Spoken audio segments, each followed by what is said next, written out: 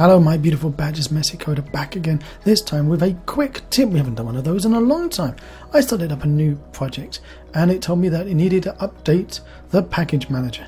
Whenever it does that, there's always a problem somewhere. This time we've got these silly chlappy, H-L-A-P-I, chlappy problems. Well, uh, no matter what you're doing, it's always going to say, look, deterministic compilation failed. You can disable deterministic builds in the player settings or we could just do a quick fix. First thing is go into the package manager. So Windows, package manager, and then here, make sure you do have Unity registry ticked, not your assets or in the projects, just that one.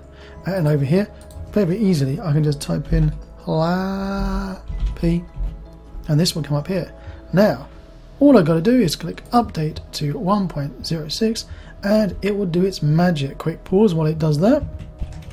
Oh, and just like magic, everything's gone. All the errors have gone, and everything's fine again. So that was it. Literally, it's just up, update your individual packages inside the package manager one by one when you get weird errors. It's as simple as that. So that's it. Quick tip.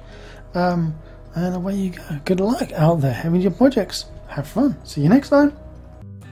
If you want to see more of my crazy videos, click on the left side of your screen now and down below there's that big juicy subscribe button and right next to it is the magic bell that if you click it it will tell you if I've got a new video coming out. Till next time.